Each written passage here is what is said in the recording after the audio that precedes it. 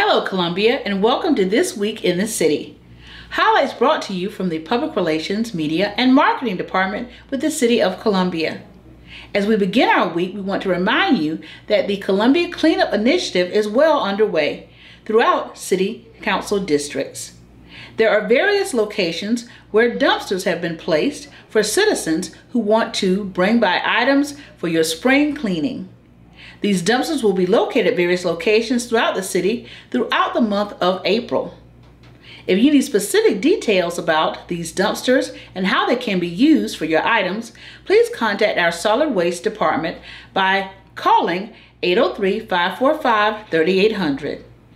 On Tuesday, Columbia City Council will hold a work session at 3 p.m. at City Hall. The work session will be held in the Mayor's Conference Room on the second floor. This work session will be a hybrid meeting, meaning you can actually attend in person or you can view the live stream from our website or our YouTube channel. For agenda items, please visit our website at columbiasc.gov. On April 12th, the Office of Business Opportunities will hold a Finlay Park revitalization meeting for those who have interest. This meeting will be held at Earlwood Park which is located at 1111 Recreation Drive. For more details regarding this meeting, please call the Office of Business Opportunities at 803-545-3960. On Thursday, April 13th, the Planning Commission will hold their meeting at 4 p.m. at City Hall in Council Chambers. City Hall is located at 1737 Main Street. This meeting will be live streamed and can be viewed from our YouTube channel and our website or you can attend in person.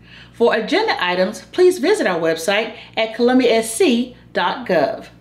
And on Friday, April 14th, it's time for Food Truck Friday.